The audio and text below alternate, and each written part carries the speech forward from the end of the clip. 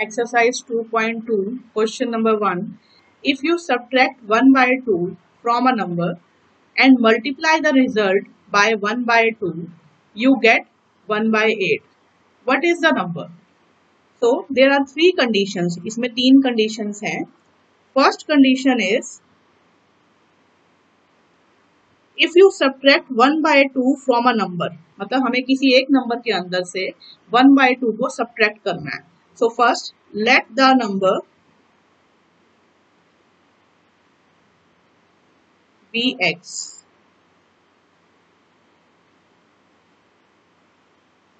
So condition first is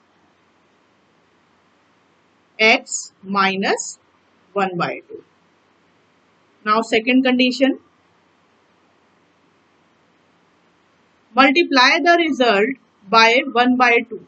Result क्या हुआ हमारा? जो कंडीशन फ़र्स्ट है it is the result now तो अब इस रिज़ल्ट में को मल्टीप्लाई करना है वन बाय टू से. So multiply the result by one by two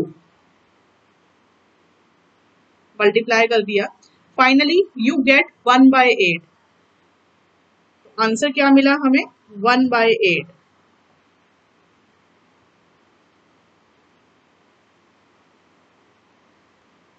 answer is one by eight. What is the number अब हम इसे सॉल्व करेंगे और x को फाइंड आउट करेंगे और x is the required number तो while solving it one by two multiply x minus one by two equals to one by eight क्योंकि पूरी इक्वेशन हमारी फ्रैक्शन में है तो हम इसे इंटीजर में बनाने के लिए दोनों साइड्स को मल्टीप्लाई कर देंगे एट से। Multiplying both sides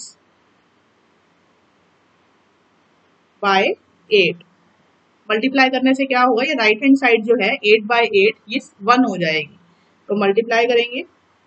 One eight by two multiply ये लेफ़्ट हैंड साइड पे हमने एट से मल्टीप्लाई कर दिया। सिमिलरली राइट हैंड साइड पे भी हम एट से मल्टीप्लाई करेंगे। तो this will be cancel out one हो जाएगा। लेफ़्ट हैंड साइड पे two one the two two four the eight so it will be left hand side हमारी हो जाएगी फोर और साथ में x minus one by two और राइट हैंड साइड हो जाएगी one it will be four x ये डिस्ट्रीब्यूटिव प्रॉपर्टी है. यहाँ फोर एक्स से मल्टीप्लाई होगा और फिर यही फोर वन बाई टू से भी मल्टीप्लाई होगा. तो first four multiply x that is four x minus as it is four multiply one by two तो ये हो जाएगा four by two equals to one it will be four x minus cancel होगा. Two one the two two two the four is equal to one four x is equal to two यहाँ transpose हो जाएगा right hand side पे, क्योंकि to यहाँ minus हो रहा है तो वहाँ जाके प्लस हो जाएगा। तो वन प्लस टू तो four x is equal to three x is equal to three as it is four यहाँ हमारे पास मल्टीप्लाई हो रहा है एक्स से तो वहाँ राइट हैंड साइड पे ट्रांसपोज होते हुए फोर डिवाइड हो जाएगा।